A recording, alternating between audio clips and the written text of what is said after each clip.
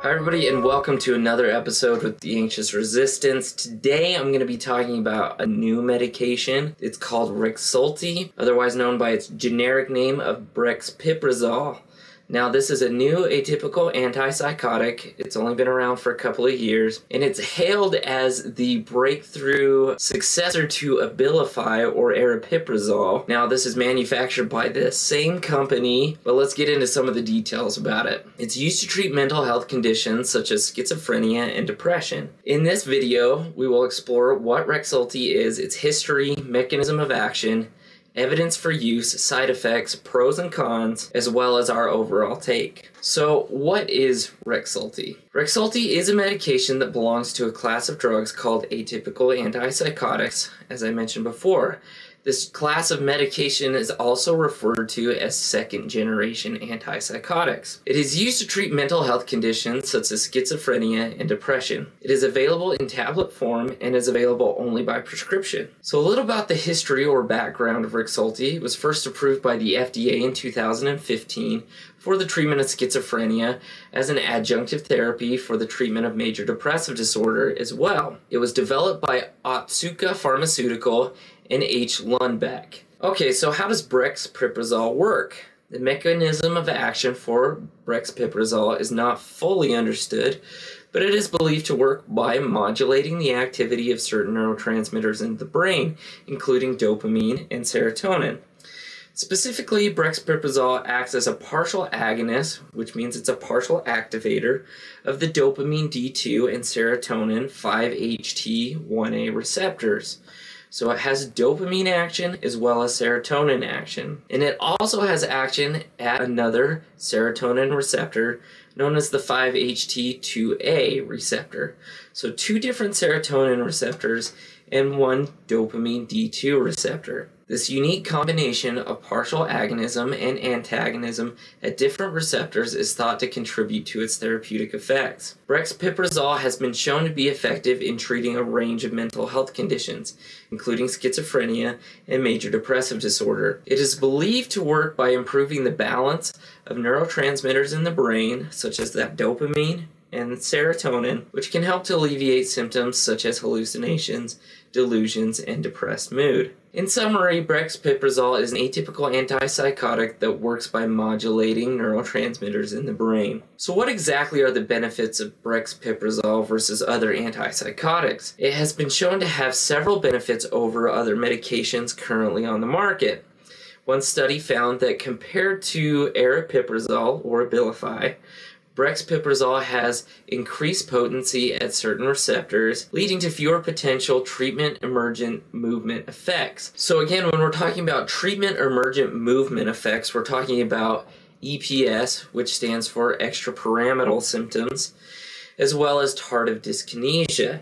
Now, these are uncontrolled involuntary muscle movements that start out as what we call extrapyramidal symptoms. This is when you have pill rolling in your hand, maybe some lip smacking that you can't control, or even some other tics or twitches. And eventually these can become permanent and lead to a condition known as tardive dyskinesia.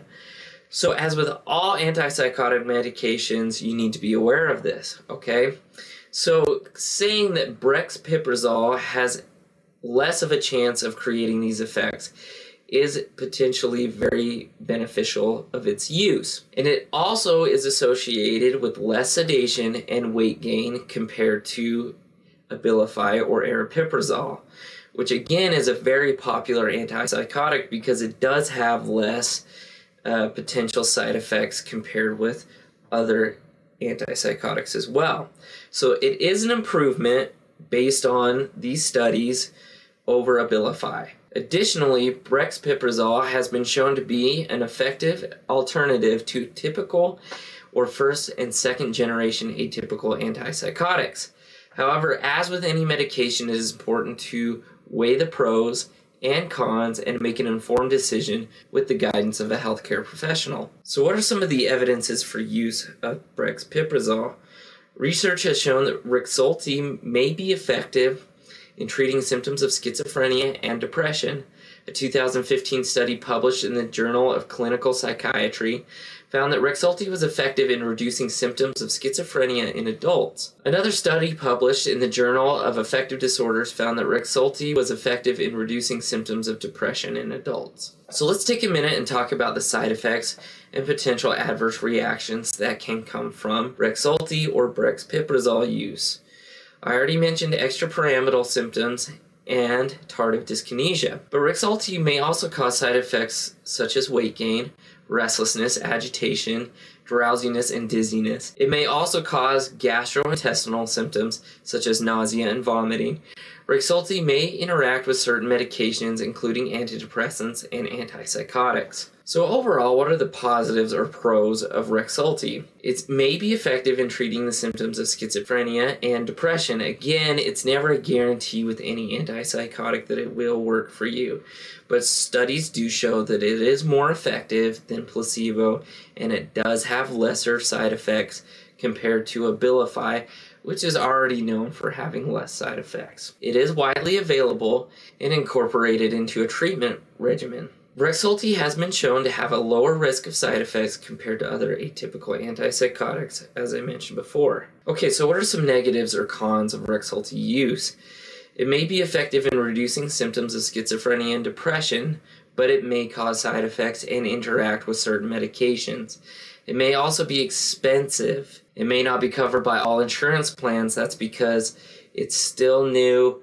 It still hasn't gained popular use yet and part of that is because of its expense. I don't see brexpiprazole or Rexulti used in a clinical scenario very often because I think it's expensive and because maybe its potential benefits aren't exactly that much greater than say Abilify that's already available as a generic medication.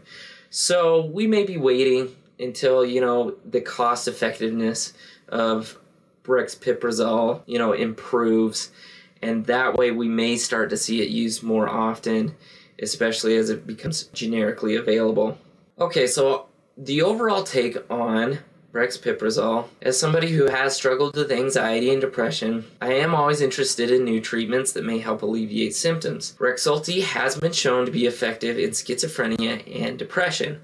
I do think it shows a lot of potential and I do think if those benefits over other atypical antipsychotics continue to prove out over time, then it is going to be worth it and it is going to be an improvement based on current treatments that we already have. That being said, it should be considered lower down the line, especially if your insurance doesn't cover it.